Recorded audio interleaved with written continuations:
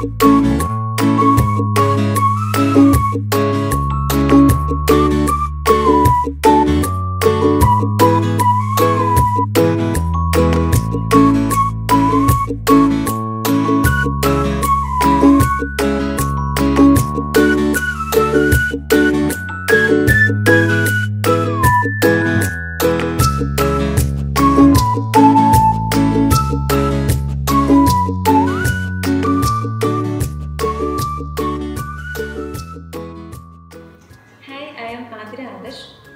I am here in Polinsys Cochin office to collect my spousal visa.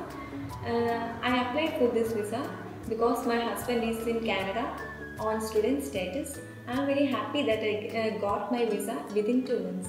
Uh, actually, we came to know about the Polinsys office through one of our friends in Canada. Uh, so, me and my husband came here to know about the spousal visa uh, details and we inquired about the process. We started the process in the month of uh, May and we uh, submitted the application on June 12 and I am very happy that I got my spousal visa within two months that is in August. I am planning to move by the month of September. Thank you Polinsys for helping me to join my husband in Canada.